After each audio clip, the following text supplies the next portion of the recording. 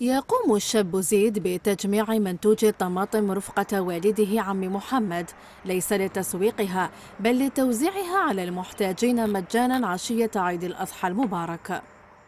المنتوج هذا نتاع الطماطم حنا نقولوا لاباس به. حنا ماذا بينا؟ نزيدوا نعاونوا نعاونوا المستهلك. ما, ما نديوش حنا نعاودوا لواحد البيع يعاود يزيد يبيع. حنا ماذا بينا؟ نعاونوهم بهذا الفكرة هذه. خاطر على بالنا حنا الكورونا هذه ماشي الجيوب قطعتهم تاع الناس. الناس ما كاينش واش تاكل. حنا ماذا بينا ماذا بينا نعاونوهم؟ حنا بالفلاحين لازمنا نعاونوا اليوم درت الحملة الفقراء والمساكين الغلبة مرت هذا كورونا انت تشوف الحالة كيفاه. كاين اللي ما لقاش واش ياكل. اليوم درنا حملة تحسيسية الخير كاين تضامنية للناس. اللي عنده ياكل اللي ما عندوش ياكل ما شوف من من المزرعة من كما كله من الفلاح المستهلك طول.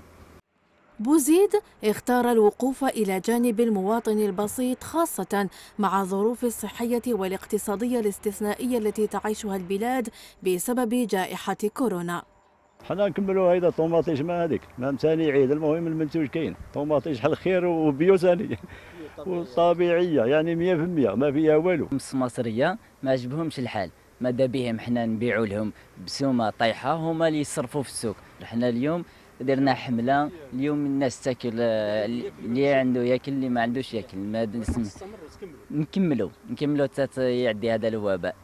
مبادرة عم محمد وأبنائه في تضامنهم الإنساني مع الفئة المحتاجة يظهر مدى روح التضامن والتكافل بين الجزائريين في الأوقات الصعبة.